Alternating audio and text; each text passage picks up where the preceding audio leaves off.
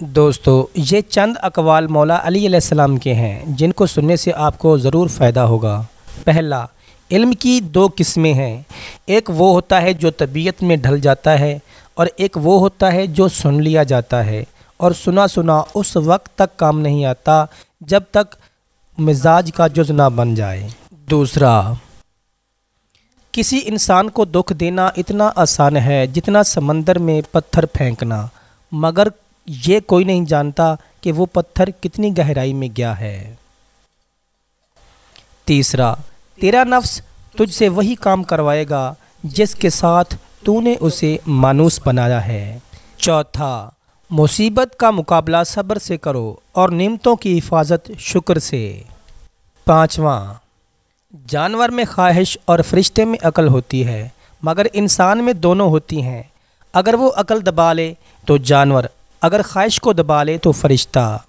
छठा अच्छा दोस्त चाहे जितनी बार रूठे, उसे हर बार मना लेना चाहिए, क्योंकि तस्बी के दाने चाहे जितनी बार बिखरें, चुन लिए जाते हैं। सातवां, हर किसी को इतनी अहमियत दो, जितनी वो तुम्हें देता है। अगर तुम कम दोगे तो मगरूर कहलाओगे, ज़्यादा दोगे तो खुद गिर जाओगे। आठवां, डर नाकामी से मिला हुआ है। नौवा। जो शख्स नेकी करने से बुखल करता है, वो अक्लमंद नहीं है।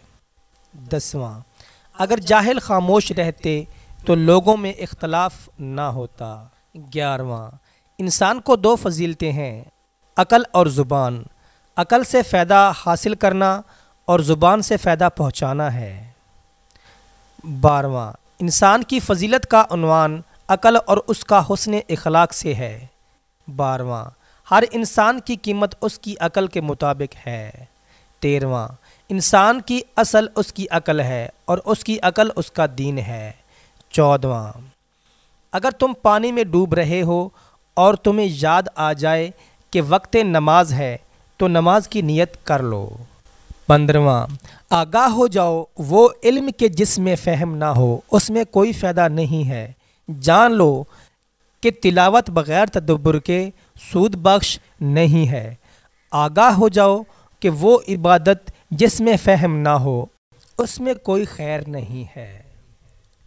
सोलवा, और प्यारे अली सलाम ने फरमाया, मैं तोरेत को अहले तोरेत से ज़्यादा जानता हूँ और अहले इंजील को अहले इंजील से ज़्यादा जानता हूँ।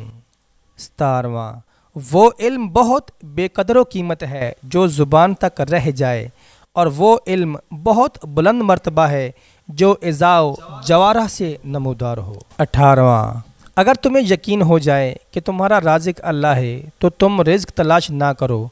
अल्लाह को तलाश करो जिसके पास तुम्हारा रिज्क है। उन्नीसवां, सूरज की किरणें ज़मीन पर पड़ने से पहले उठ जाया करो, क्योंकि उस वक्त रिज्क तकसीम हो रहा होता है। बीसवां एक शख्स ने मौला अली सलाम से पूछा कि आप सलाम की सबसे बड़ी तारीफ़ क्या है? आप सलाम ने फरमाया, सूरत अर्राद की आखिरी ऐत पढ़ी तर्जमा कि वो जिसके पास कुल्ले किताब का इल्म है और फरमाया, वो हम ही हैं। इक्कीसवां, अपनों को हमेशा अपने होने का एहसास दिलाओ, वरना वक्त आपके अपनों को आपके बग़ैर जीना सिखा देगा। बाईसवां, जो शख्स तुम्हारा गुस्सा बर्दाश्त कर ले और साबित कदम रहे, वो तुम्हारा सच्चा दोस्त है।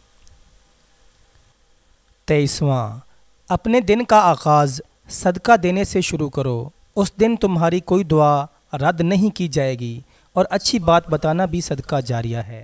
दोस्तों, ये वीडियो अपने दोस्तों के साथ ज़्यादा से ज़्यादा शेयर करें और अपनी आखरत अच्छी बनाएँ।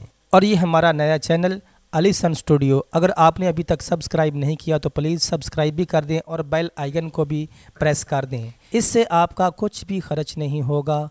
हमारी हौसला अफजाई हो जाए।